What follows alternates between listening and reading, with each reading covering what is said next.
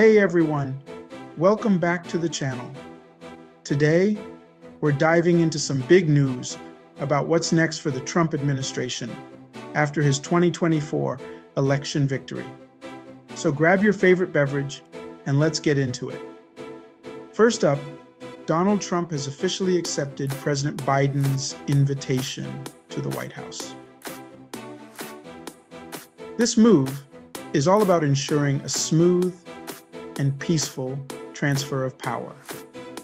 It's a significant step towards easing political tensions, and it's definitely a sight to see both leaders coming together for this transition.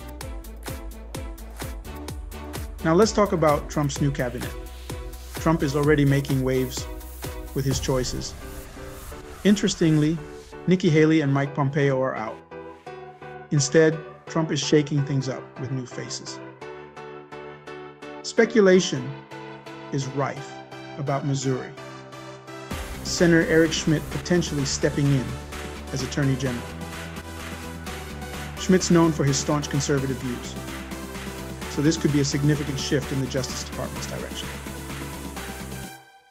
And now, the part you've all been waiting for. Elon Musk's role in the Trump administration.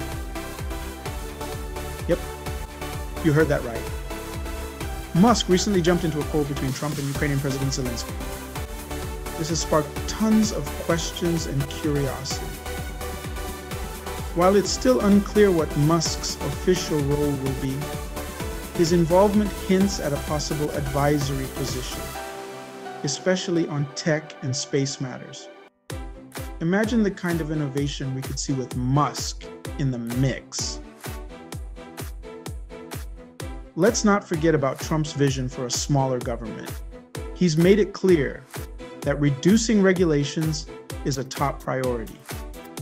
Republicans are already gearing up for less oversight on Wall Street, which could lead to big changes in, in the financial sector. But with less regulation, there are also concerns about protecting consumers and the environment. So it'll be interesting to see how this all unfolds. On the legal front, Trump is still navigating some turbulent waters. A judge has temporarily halted the election interference case against him, but the legal battles are far from over. Special counsel Jack Smith is pushing to delay the trial and the FBI is cracking down on fake election videos. It's a chaotic scene, but Trump seems ready to face these challenges head on. And finally, let's touch on the reactions. Domestically, the nation is divided. Protests have erupted in Washington, D.C., reflecting the deep political rifts.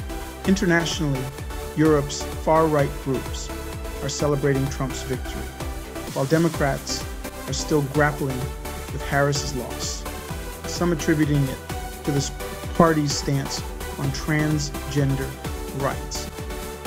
So there you have it, a whirlwind update on what's next for the Trump administration. From new cabinet picks to Elon Musk's surprising involvement, it's shaping up to be an intriguing term. Make sure to hit that subscribe button if you haven't already, and stay tuned for more updates.